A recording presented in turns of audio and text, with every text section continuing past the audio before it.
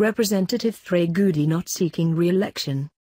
House Oversight Committee Chairman Trey Gowdy said Wednesday he is not running for re-election and plans to leave politics. Gowdy, a former federal prosecutor, issued a statement saying he planned to retire from Congress at the end of this term and would return to working in the justice system.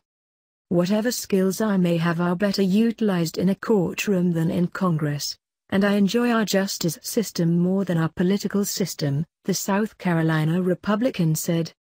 As I look back on my career, it is the jobs that both seek and reward fairness that are most rewarding. Gowdy's announcement makes him the latest Republican committee chairman to announce retirement ahead of midterm elections that are seeing a spike in Republicans headed for the exit. Unlike many other members, however, Gowdy was not facing a difficult re-election campaign in 2018.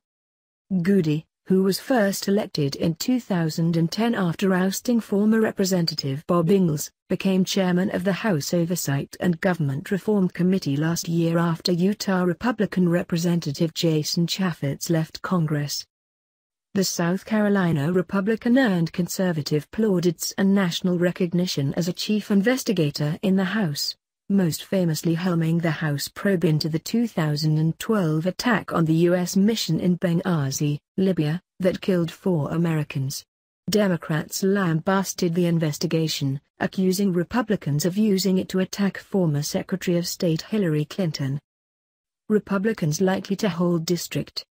Gowdy's retirement is unlikely to have an effect on the balance of power in the GOP-controlled House.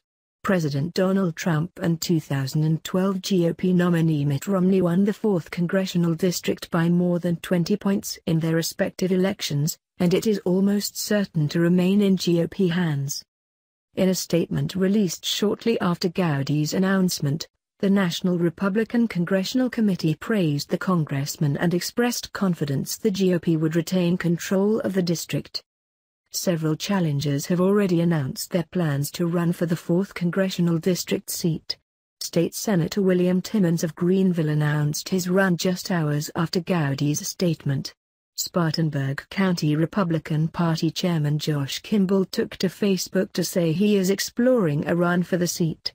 State Representative Dan Hamilton of Greenville also confirmed to CNN that he will run.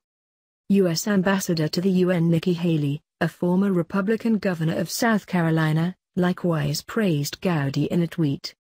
I always said the reason that Gowdy's was amazing at his job was BC he disliked politics so much.